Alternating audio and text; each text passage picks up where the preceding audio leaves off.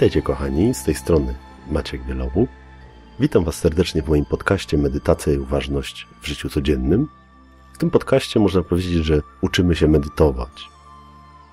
Dostarczamy sobie taką małą dawkę teorii, żeby zrozumieć kontekst medytacji, ale przede wszystkim skupiamy się na wykonywaniu wspólnym różnych ćwiczeń koncentracyjnych, uważnościowych, medytacyjnych, tak żeby zrozumieć najbardziej kluczowe zagadnienia na medytacyjnej ścieżce. Zajmowaliśmy się już zagadnieniem relaksu, uważności, koncentracji, wizualizacji. Wspomnieliśmy nawet troszeczkę o roli modlitwy na medytacyjnej ścieżce. Tym razem zajmiemy się zagadnieniem oddechu. To jest zagadnienie bardzo, bardzo ważne dla w zasadzie każdej ścieżki. I trzeba wiedzieć o tym, że dla mistyka, dla jogina, dla adepta na medytacyjnej ścieżce oddech ma trzy aspekty. Pierwszy aspekt to jest taki aspekt, który jest chyba zrozumiały dla każdego. To jest aspekt fizjologiczny. Czyli to, że nabieramy powietrze, wypuszczamy powietrze, że pracujemy określonymi mięśniami oddechowymi, że możemy oddychać brzusznie, piersiowo, szczytowo, oddechem całkowitym i tak dalej, i tak że możemy zwiększać pojemność życiową płuc, pojemność wdechową, pojemność wydechową, zmniejszać pojemność zalegającą w płucach i tak. Czyli to jest ten aspekt jakby wchłaniania i wypuszczania powietrza. Drugi aspekt jest dużo ważniejszy dla osób na ścieżce medytacyjnej i to jest chyba w zasadzie najbardziej zasadniczy aspekt oddechu w takim rozumieniu medytacyjnym. Ja go nazywam aspektem psychologicznym, ponieważ dla jogina czy dla mistyka oddech to nie jest tylko strumień powietrza. Oddech to jest przede wszystkim pewien strumień energii, strumień świadomości, który niesie ze sobą różne treści. Może myśli, emocje, zachowania, postawy i tak dalej. I wdech jest takim prądem, który przynosi pewne rzeczy do nas, przynosi pewne treści, a wydech pewnym prądem, za pomocą którego komunikujemy albo uwalniamy się od pewnych rzeczy. I jak zetkniemy się z takim sformułowaniem w wielu ścieżkach medytacyjnych kontrola oddechu, to ono dotyczy właśnie kontroli tego aspektu oddechu. Ono nie dotyczy kontroli w sensie zatrzymywania, wydłużania i tak dalej, tylko kontroli oddechu, w sensie kontroli tych treści, które przychodzą i wychodzą od nas razem z oddechem. Kontroli oczywiście nie w sensie wypierania, ale w sensie jakby umiejętności oczyszczenia umysłu i umiejętności pokierowania tymi treściami w odpowiedni sposób. Jak nauczymy się kontrolować to, co przepływa wraz z oddechem w nas i będziemy w stanie oczyścić nasz oddech, w sensie oczyścić nasz umysł, naszą świadomość, to możemy mówić o trzecim aspekcie oddechu. Ja go nazywam aspektem metafizycznym albo aspektem mistycznym. Jak umysł jest całkowicie oczyszczony, to poprzez oddech możemy doświadczyć tego doświadczenia takiej głębokiej obecności, bez identyfikacji z ciałem, bez identyfikacji z myślami, bez identyfikacji z emocjami, z rolami społecznymi i tak. I teraz do każdego z tych aspektów oddechu są różne ćwiczenia oddechowe, różne ćwiczenia w zasadzie oddechowo-koncentracyjne, oddechowo-medytacyjne. I do tego aspektu fizjologicznego są pewne ćwiczenia, w których uczymy się y, pracować z oddechem, tak żeby on nam nie przeszkadzał w pracy z kolejnymi aspektami oddechu. Zasadnicza większość pranayam, czyli medytacji oddechu, wiąże się z tym aspektem psychologicznym, ale są też y, w każdej tradycji pranayamy, które dotyczą tego aspektu metafizycznego. My dzisiaj zajmiemy się taką medytacją która jest podstawą wielu innych technik pranayamy i wielu innych technik medytacji i najbardziej znana jest jako pranayama projekcyjna. Projekcyjna to znaczy, że wraz z oddechem kierujemy naszą uwagę w określone miejsca, najczęściej w naszym ciele, a czasami poza naszym ciałem.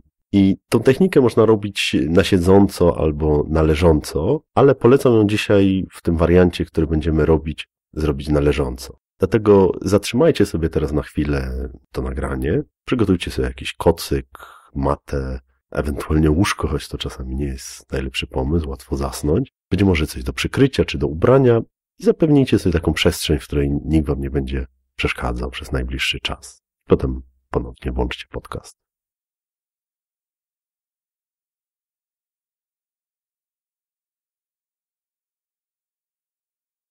Jak już ułożycie się wygodnie na plecach, to zamknijcie oczy i rozluźnijcie się.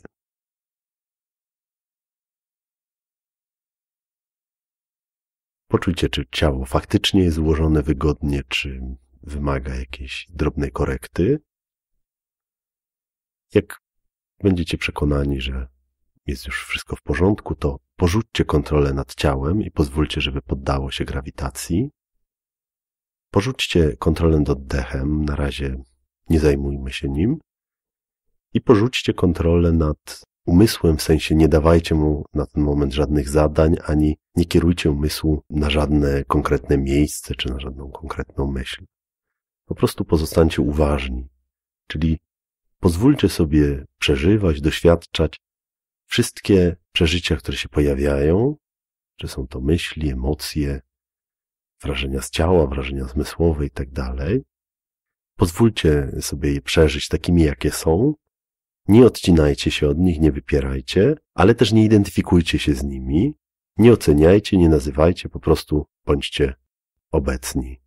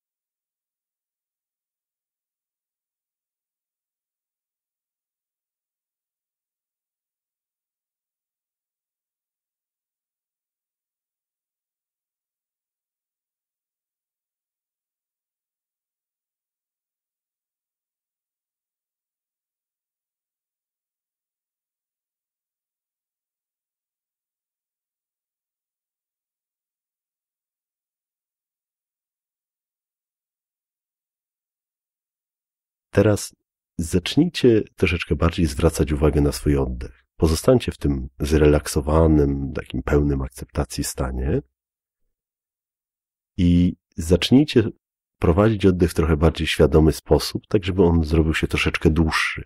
Ale nie na zasadzie nadawania mu jakiegoś rytmu, tylko po prostu pozwólcie sobie oddychać bardziej świadomie. Więc zacznijcie robić taki bardziej świadomy wdech i prowadźcie wdech do momentu, aż poczujecie, że to jest najbardziej optymalny moment na zakończenie tego wdechu. Później zatrzymajcie na chwilę oddech po wdechu i później zacznijcie wydech i ten wydech też poprowadźcie tak świadomie jak wdech. Też poprowadźcie do takiego momentu, w którym poczujecie, że to jest najlepszy moment na zakończenie tego wydechu. I w ten sposób, taki świadomy, prowadźcie kolejne wdechy, zatrzymania oddechu po wdechu i wydechy. W związku z tym, że w każdym oddechu będziemy świadomie zwracać uwagę, jaki moment jest najbardziej odpowiedni na zakończenie wdechu czy wydechu, to te oddechy mogą się trochę różnić między sobą.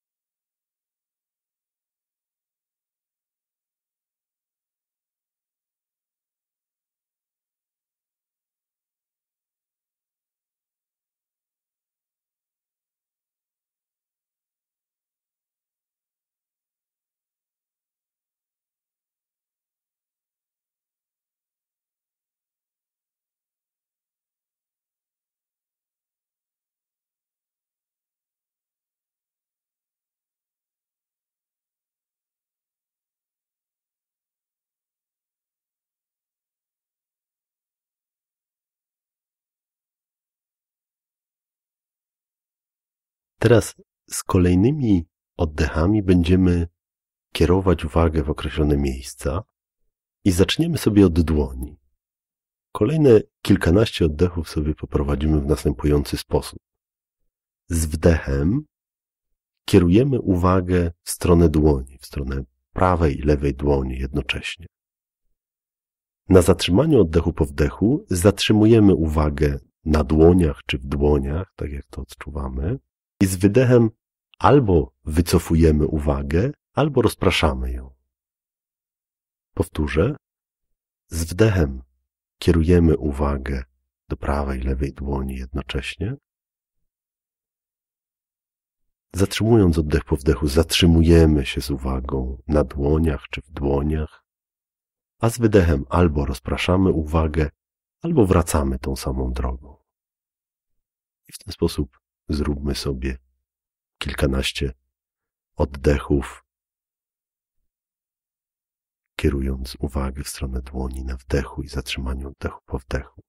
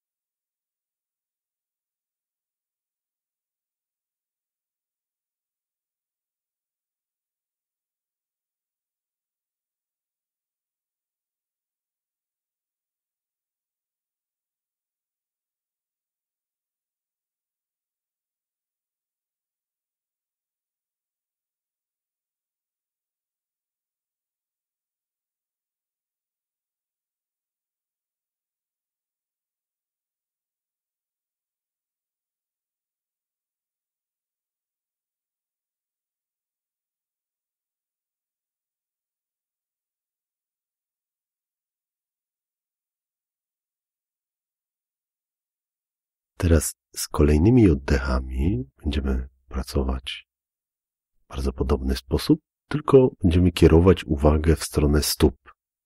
Czyli z wdechem kierujemy uwagę w stronę prawej i lewej stopy jednocześnie. Na zatrzymaniu oddechu po wdechu zatrzymujemy uwagę na stopach czy w stopach. I później z wydechem albo rozpraszamy uwagę, albo wycofujemy ją tą samą drogą.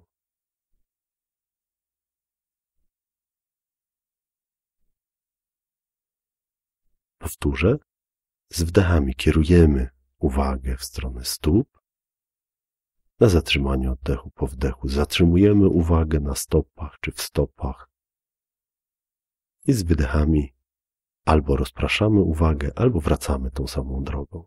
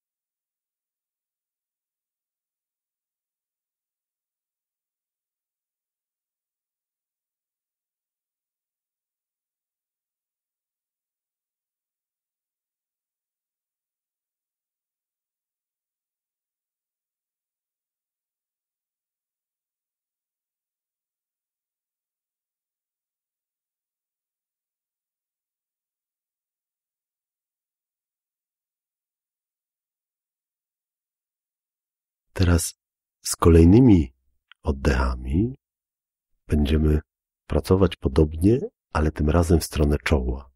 Czyli z wdechem stopniowo kierujemy uwagę w stronę czoła. Na zatrzymaniu oddechu po wdechu zatrzymujemy uwagę na czole lub w czole, tak jak to odczuwamy. I z wydechem albo rozpraszamy uwagę, albo wycofujemy ją. Powtórzę raz jeszcze. Z wdechami kierujemy uwagę w stronę czoła, na zatrzymanie oddechu po wdechu zatrzymujemy się tam z uwagą i z wydechami albo rozpraszamy uwagę, albo wycofujemy ją tą samą drogą. W ten sposób znowu zróbmy sobie koło kilku, kilkunastu oddechów.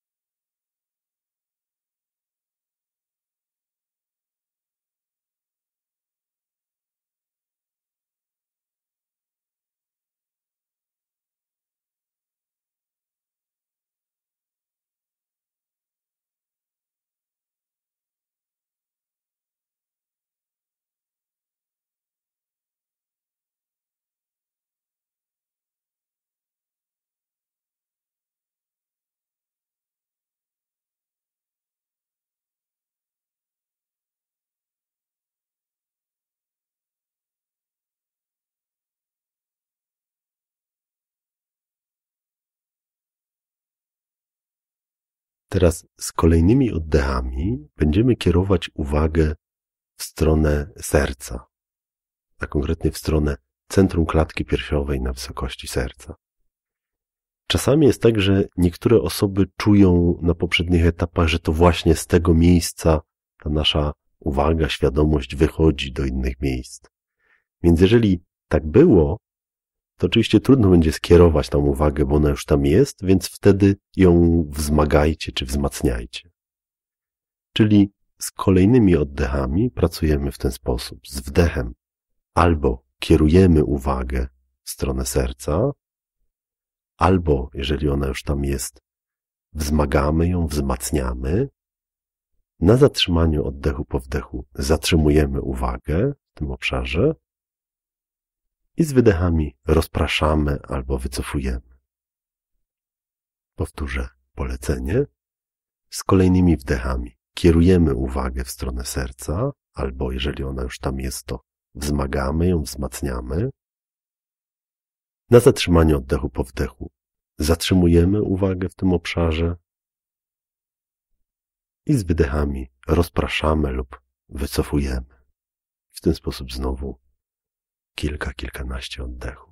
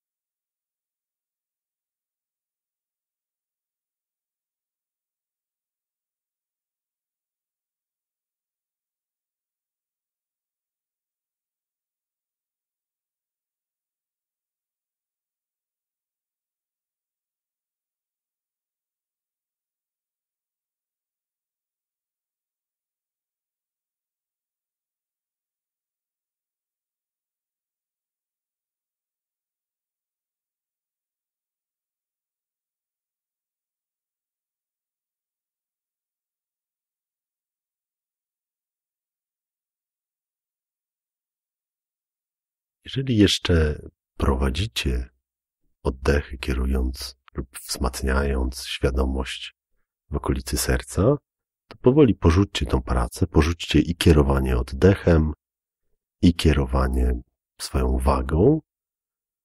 I chwilę zostańmy w takim stanie relaksu, uważności, obecności, w takim stanie, od którego staraliśmy się wyjść do tej praktyki.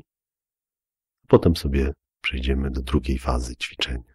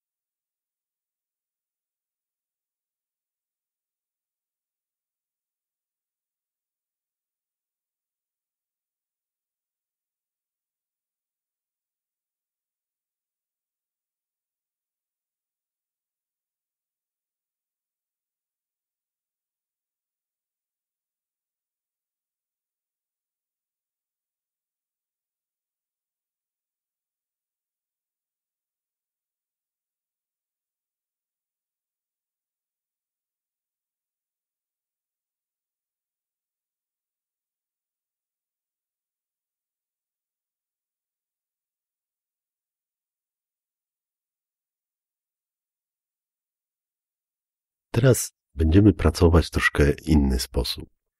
Będziemy kierować naszą uwagę z wydechami i dołożymy do tego wizualizację jasnego światła, najlepiej złotego, ewentualnie kremowego. I w naszej pracy ten strumień światła będzie wychodził tym razem z okolicy serca. Więc na razie zwróćcie uwagę na swój oddech, ale też skierujcie uwagę i skupcie się na tej okolicy serca, czy na tej okolicy w centrum klatki piersiowej, na wysokości serca. I z kolejnymi oddechami będziemy pracować w następujący sposób. Robimy sobie swobodny wdech, po czym z wydechem prowadzimy strumień złotego światła w stronę prawej dłoni, ale ten strumień światła nie zatrzymuje się na prawej dłoni, tylko tak jakby wychodzi poza nią w przestrzeń, tak jakby przepływał przez nią czy po niej. Potem robimy krótkie zatrzymanie oddechu po wydechu. Czy powtórzę, z wdechem po prostu robimy sobie swobodny wdech, po czym z wydechem prowadzimy strumień światła z okolicy serca w stronę prawej dłoni. Ten strumień światła przechodzi przez prawą dłoń i ginie gdzieś w przestrzeni. Jak skończy się wydech, zatrzymujemy na chwilę oddech po wydechu, no i potem wracamy, robimy kolejny cykl. Czy w ten sposób zróbmy sobie kilka do kilkunastu oddechów, z wydechami kierując światło poprzez prawą dłoń z okolicy serca w przestrzeń.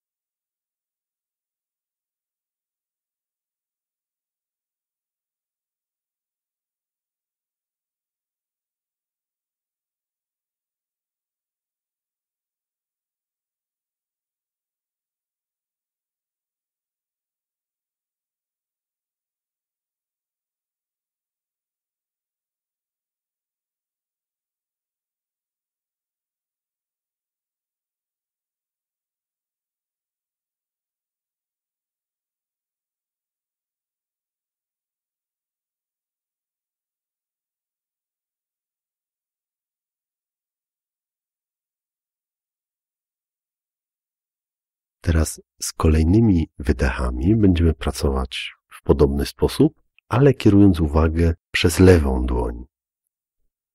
Czyli swobodny wdech, a z wydechem strumień światła wychodzi z okolicy serca w stronę naszej lewej dłoni, ale nie zatrzymuje się na tej lewej dłoni, przepływa przez nią i gdzieś tam ginie w przestrzeni. Jak skończy się wydech, zatrzymujemy na chwilę oddech po wydechu. Powtórzę instrukcję. Swobodny wdech. Z wydechem prowadzimy strumień światła z okolicy serca przez naszą lewą dłoń w przestrzeń. Jak się skończy wydech, zatrzymujemy na chwilę oddech po wydechu.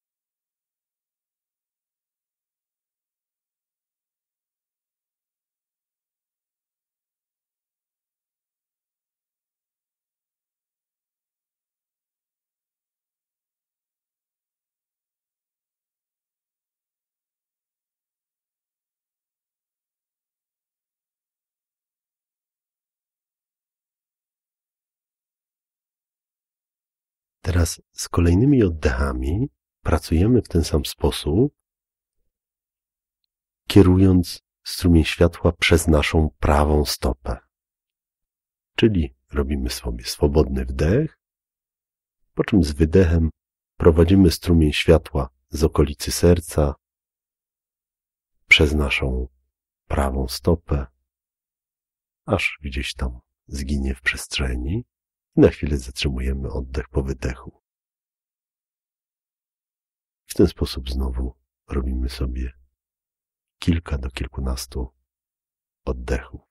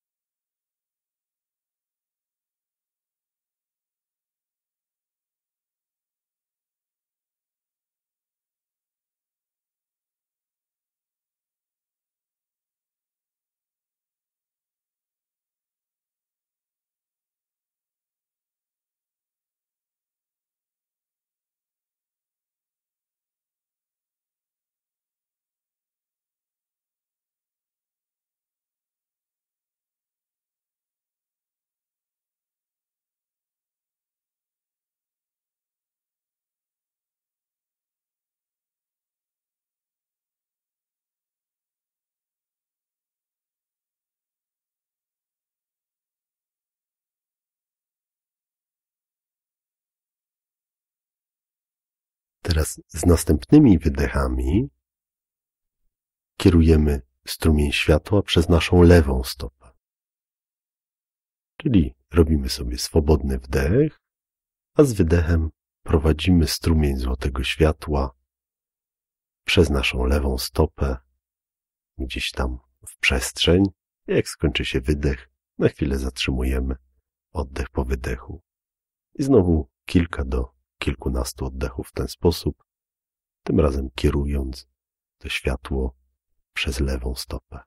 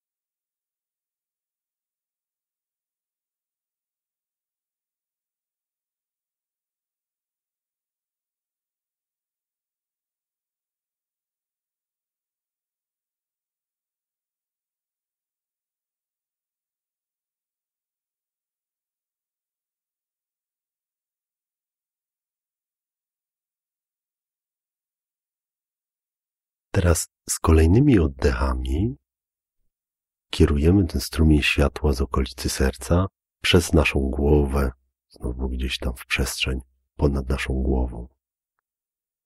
Czyli swobodne wdechy,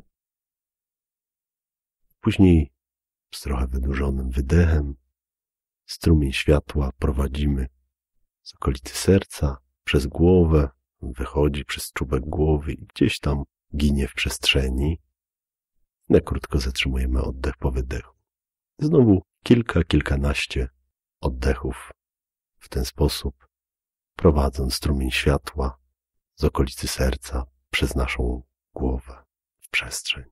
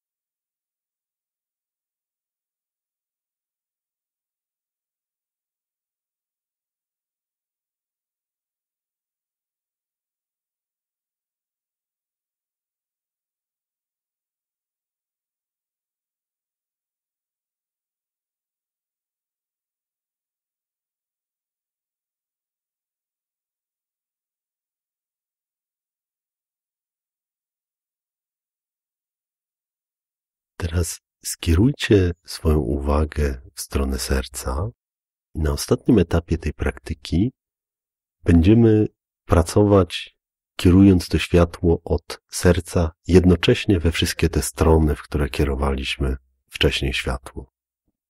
Można by powiedzieć, że w tym ćwiczeniu, w tej praktyce traktujemy nasze ciało jako taką pięcioramienną gwiazdę, a to światło, którym ta pięcioramienna gwiazda się wypełnia i którym promieniuje, to jest światło właściwości serca, takich jak życzliwość, dobroć, współczucie, dobra wola, przyjaźń i tak. Teraz z kolejnymi oddechami pracujemy w ten sposób. Robimy swobodny wdech, po czym z wydechem kierujemy strumienie światła jednocześnie we wszystkich tych kierunkach, których kierowaliśmy wcześniej, czyli w stronę dłoni, w stronę stóp, w stronę głowy i to światło znowu przechodzi przez te wszystkie miejsca i idzie dalej w przestrzeń. Jak skończy się wydech, to zatrzymujemy na chwilę oddech po wydechu, potem znowu swobodny wdech i z wydechem światło z tej okolicy serca idzie przez nasze dłonie, stopy, głowę w przestrzeń. Potem znowu swobodny wdech i tak dalej. Znowu kilka do kilkunastu oddechów prowadzimy w ten sposób.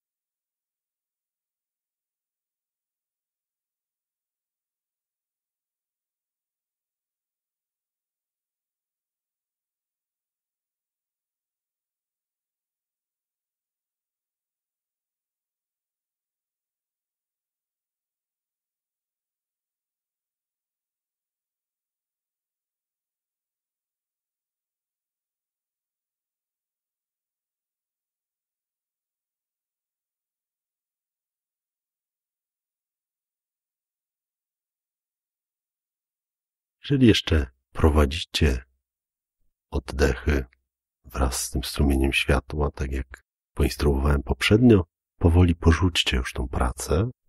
Porzućcie i kierowanie oddechem, i kierowanie uwagą. Natomiast jeżeli jakieś wrażenia z tej praktyki zostają samoistnie, to nie starajcie się ich likwidować. Po prostu zostańcie z tym, co zostaje po porzuceniu techniki. Dajmy sobie teraz jeszcze chwilę w ciszy, tak żeby pozostać w takim stanie relaksu, uważności, obecności, pozwolić wybrzmieć temu, co w nas wybrzmiewa, już bez stosowania żadnej techniki.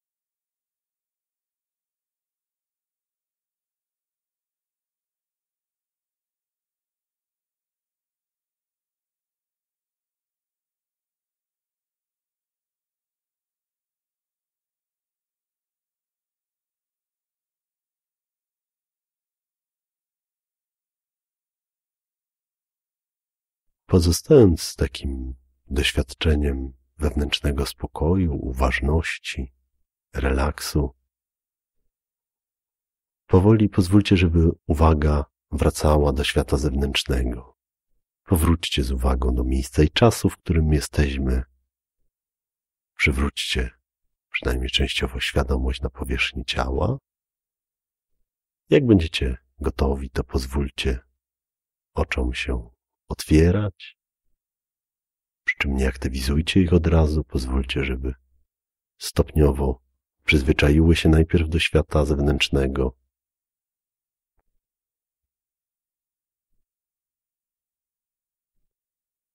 Podziękujcie sobie za ten czas, który sobie poświęciliście, docencie to. Ja również dziękuję Wam bardzo. Do usłyszenia.